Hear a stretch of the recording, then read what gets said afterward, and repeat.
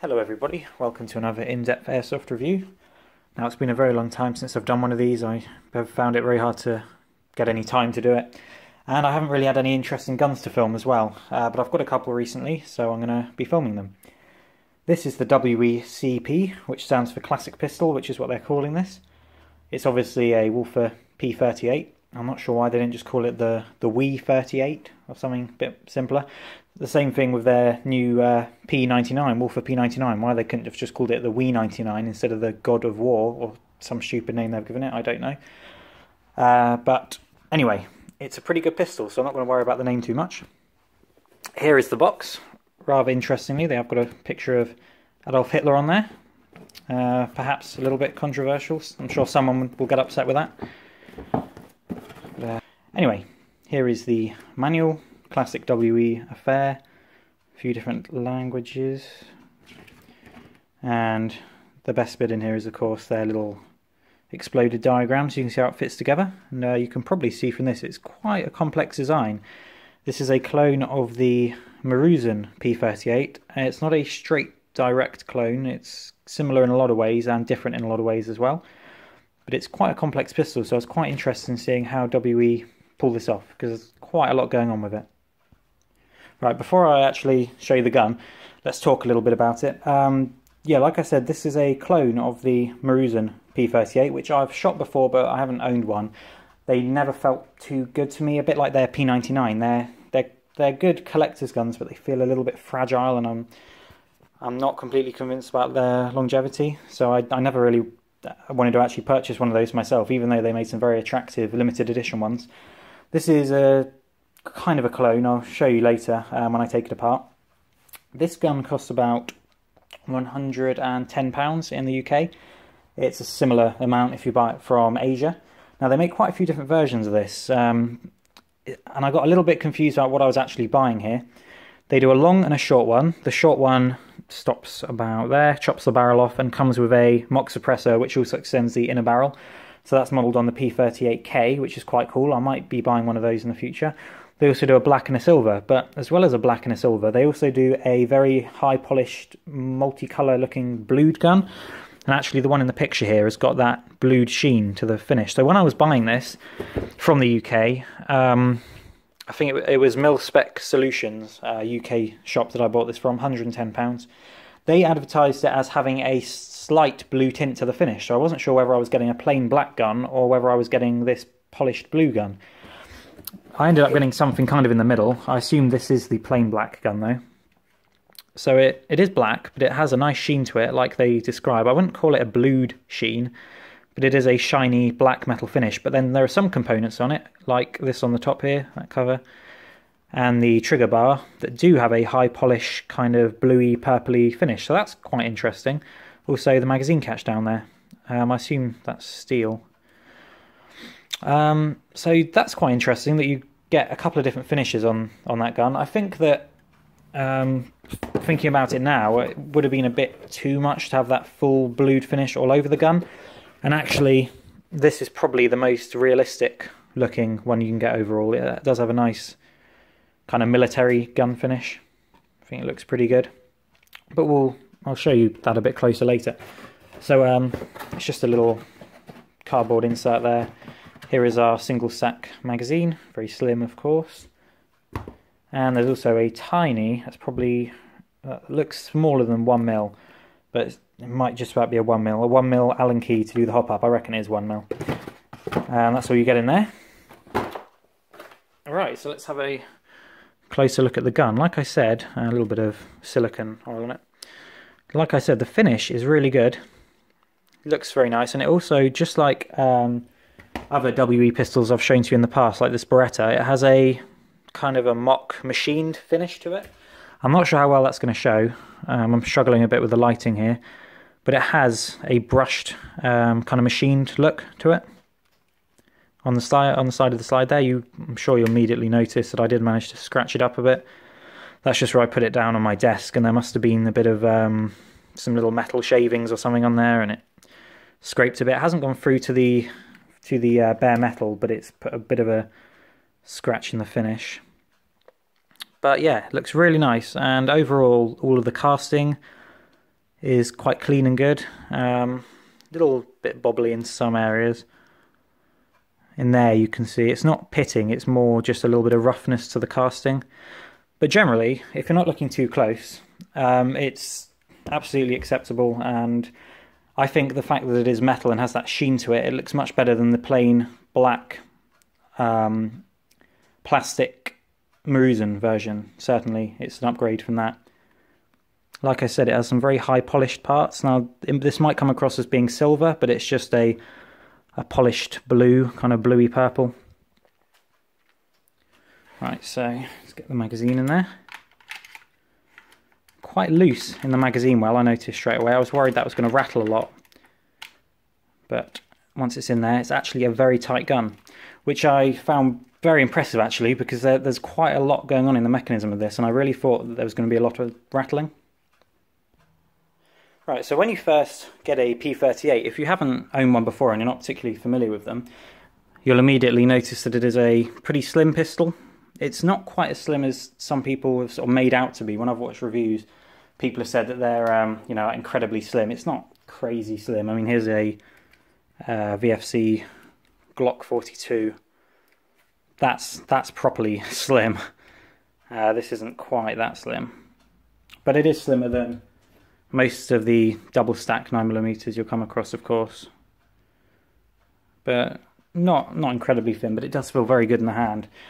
And actually, another thing that'll maybe surprise some people who aren't too familiar with these is that they are remarkably modern for such an old gun. Obviously, a P30, P38, dating all the way back to before World War II. And it has all the features that you'd associate with a modern handgun, perhaps. Some people might be a little um, unfamiliar with a heel magazine release, European style. So you just, you kind of need both hands. You can't drop it with this hand. You need to push it back and pull it out. Although it does drop free very easily, so it will come out on its own. Um, but yeah, it has some features that you'd associate with more modern guns. So you've got a single and double action trigger. Really nice trigger actually. I've never been impressed with the trigger uh, uh on WE pistols, but this one is very nice. It's actually a really smooth double action and a good single action with a just about, you can feel where the break point is. Just show you the uh, reset. Pretty short. Yeah. You also get a decocker very similar to anyone that's owned a Beretta 92 or any any Beretta pistol with the slide mounted safety. Drops down, hammer goes all the way to um, right back into battery into the uncocked position. Trigger stays back so it won't do anything while the gun's in safe. And then flick it back up and you can shoot in double action. So I was very happy that WE had replicated this properly when I first opened the box, this was very stiff. It only really wanted to move to about there, and then it would kind of jam almost. What I found was that the gun is screwed together very tight. These two screws in the slide here, if you slightly loosen those, they're the ones that hold the rear sight on. Loosen those just a little bit, not so much that it rattles, but loosen them a little bit, and this will move much more easily. Now, a lot of people don't like slide mounted um, safeties. I actually kind of like it because it stays out the way of my thumb and get a good high grip without it interfering. And also I kind of like that you can you can load up your magazine, you can put the safety on and then you can just rack it with the safety on and it's immediately decocked. So uh, yeah, I actually quite like this system and I find it very quick to turn on and off. So I'm, I'm happy with that, uh, using that system obviously a slide catch here, which is quite stylized. I think the whole the pistol as a whole is a really quite stylish design. I, have always quite liked these, and um, ergonomically they're they're really good. It, the slide stop is just the right amount of distance away, so that when you're normally shooting, you don't come into contact. But as soon as you need to drop the slide, it's right there. So ergonomically, I find this a really nice gun. quite a distinctive open top design, kind of like a Beretta. Quite a lot of elements of this you can see um, were either, I'm not sure which way round, whether you'd say that this was influenced by the earlier Berettas or later Berettas were influenced by this. But yeah, lots of elements of this are very Beretta-ish. I was very happy to see that WE have properly replicated the locking mechanism of the barrel, which I'll go into a little bit more later. Um, what else can we talk about? Black plastic grips, of course. They're pretty good, actually. I, am always worried um, with plastic grips that kind of wrap around and meet at the back like this, that they can creak when they touch together. But actually, these are pretty much... I can't get any creak out of these. They're very solid. They're on the frame properly just a screw that goes through there. And um, I did read that you can swap these out with real grips with a little bit of modification. I don't think there's a huge amount of work you need to do, but I think this looks pretty good. It looks very businesslike, and this is this is pretty much how you'd see it in a in someone's holster in World War II. So yeah, good grips. You've got your little lanyard ring there. Got magazine catch down there that I talked about earlier. It feels quite weak. The spring on that is pretty loose, but it definitely holds the magazine in well. Not much of a click. It can be a little unsure whether it's in there all the way or not. Makes more of a click when the uh, slides open. But yeah, there's no way that magazine's going to come out. A little bit of rattle in there. I'm almost tempted to put a little bit of insulation tape on the inside there to stop any rattling. But um, certainly with the slide down, this gun is impressively rattle-free. And I say impressively because I really expected this to have a bit of rattle just because of the complex nature of the barrel mechanism, which I'm going to show you now. So this is a short recoil operated gun with a sort of a locking wedge inside here, which is the silver part you can see here. Kind of similar to Berettas uh, in the future. If I take the slide off here, a little bit tricky. Oh, and by the way, that's that's how you do it. You pull the slide back, you flip this down, and it comes off. Best way to do it, actually, if I put it back together quickly. The the hammer seems to have to be down for the slide to come off. So what you what you do is um, cock it, uh, lock back, safety down, open that. Now as you run it forward, it'll decock the hammer, and then it'll come off smoothly. Now, very interesting design in here if you haven't seen one of these before. You've actually got two recoil springs, um, which are in sort of semicircular channels. Now they're it's a bit more than a semicircle, so it does actually retain the spring in there quite well. You remove those by just sort of lifting it out like that. So um, don't sort of drop this down on a table or something after you've taken it apart because it's possible those will shoot out. They're not particularly captive. Um, got the hammer mechanism in here, which feels pretty substantial. There are some guns that kind of feel like after a while that'll wear down, but it seems quite substantial. And this here is your decocking piece that the slide interacts with. And that is, that's the little uh, valve knocker reset. So seems like a decent mechanism overall. I never actually took the Marushin gun apart, so I'm not sure how similar the trigger mechanism is. But yeah, it all seems very robust. Anyway, let's talk about the slide, which is what I was talking about earlier. Now the silver part, which is really quite well replicated in here, is the locking block, or the wedge. I'm not sure exactly what the right term is, but... So this is the, yeah, I'm just going to call it the locking block. So to get it out of the slide, I, I kind of wrestled with this for quite a while because it was it's locked to the slide by the locking block. And what you need to do is either pull it towards you or push this button here it'll lower the wedge and then it can come out. Right, so we have W uh, we have obviously put quite a lot of work into getting this right. It's quite a complex little system. You've got the locking wedge there. That button kind of interacts with it, make sure it's moving as it should.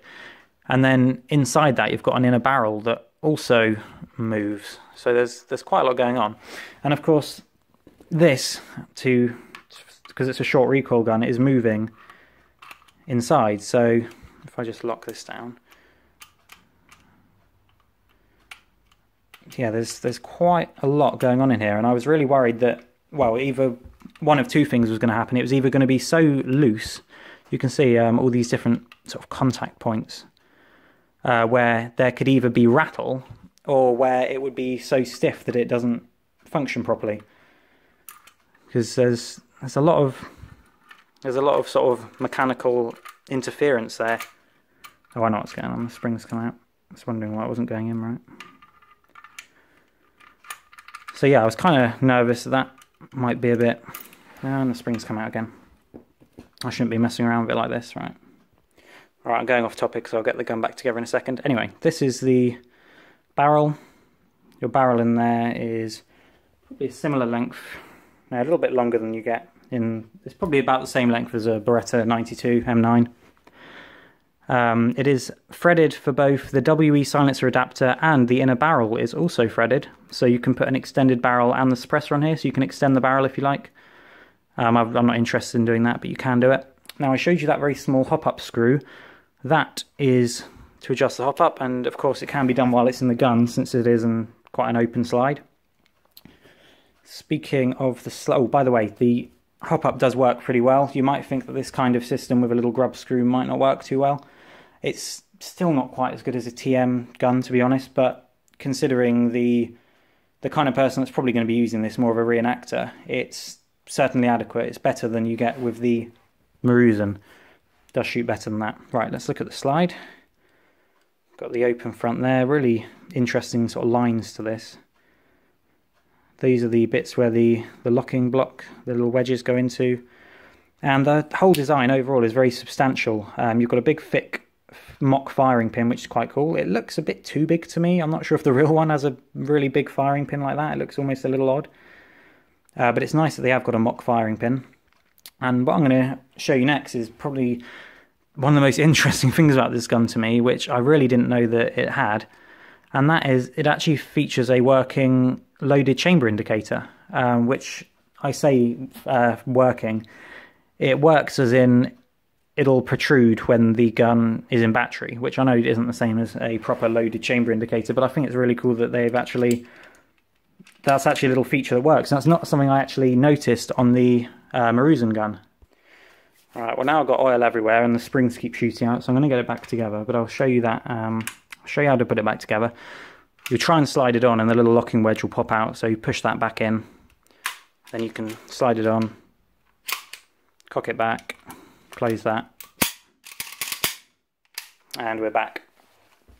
Right, so that little loaded chamber indicator, this is something that I haven't seen mentioned on any of the reviews I've seen, but it, I think it's just a really nice little touch that actually that actually disappears. So when you cock the gun, when it's out of battery, that little indicator disappears, and then back when it's in battery, it's visible. I just think that's a really neat little touch, and it's something that I think most other companies um, especially someone like TM, they really wouldn't have bothered doing something like that. And I, again, I can't remember if I assume that's on the Maruzen original, but it's really nice that even for a quite a low cost uh, copy of that gun, that they've actually replicated that.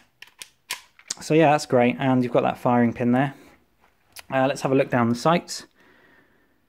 So we've got a non-adjustable post. It looks like it's dovetailed in, but I'm pretty sure it's just one cast unit and then we've got our, our rear with a sort of semicircle notch in it. So pretty standard of that kind of time period. Quite big though, certainly more usable and chunkier than a, a 1911A1's sights and an older 1911. Something else uh, that's quite realistic is you also get a separate ejector or extractor, sorry, that is a separate part, so it kind of wobbles a little bit. Overall, the attention to detail here is really good. And um, it's a really fun design to kind of fiddle with and to see how it all works. That's the um, the short recoil mechanism I was talking about. So the barrel moves back and then that unlocks the slide, which then travels. Does It can get a little bit stuck when you're manipulating it by hand, that's the kind of thing I was worried about happening maybe when it was shooting, that it would kind of bind up because there's a lot of metal contact here. But um, no, it, it, shoots flawlessly. I've never had a problem when actually shooting this.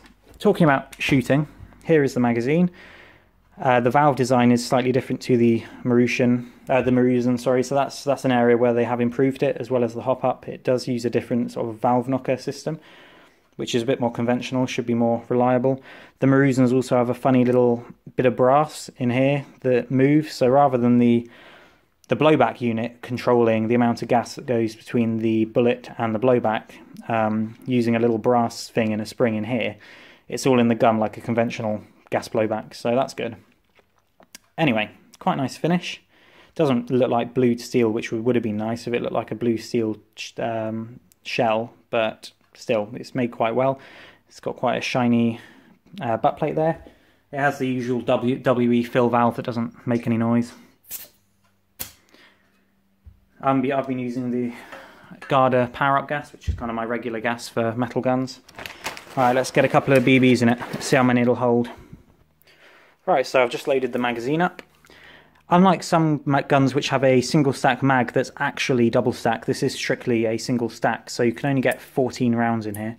So you've got 14 in there, and doing the little trick I showed earlier, keeping the safety on, you can cock it, decock it, one round in the chamber, and put another one in, so you've got 15 overall, so that's enough. Magazines are fairly cheap for this, so it's not a problem. Um, so not a huge magazine capacity, but definitely decent enough.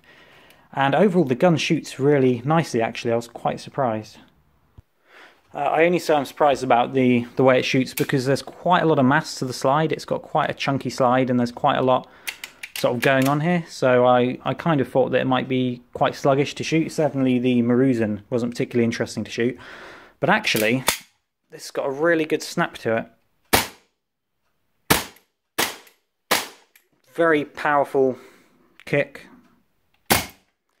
aiming down there, so a little bit of vapor. Uh, but yeah, very impressive how it shoots actually. It's certainly, it, like I said earlier, it's not quite as good in terms of accuracy as a TM, but it's perfectly powerful.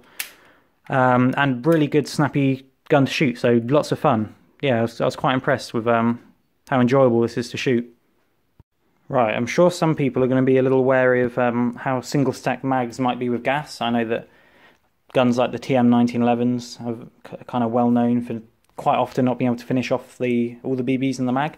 Of course, this only being a 14 rounder, 14 plus one, you're easily going to be able to shoot those off. When I've been testing it, it has been cold. Um, we're only just sort of getting out of winter, and I've been getting well, obviously at least one magazine, um, and then sort of another half sometimes. So 20 shots, and that's when it's cold. And now it's starting to warm up. I I've been getting closer to two uh, fills of BBs to one fill of gas, so that's pretty decent. I kind of end up filling the gas between each mag anyway. And whenever I'm sort of, if I, if when I used to play airsoft more, I'd, I'd carry a little bottle of gas with me and do that.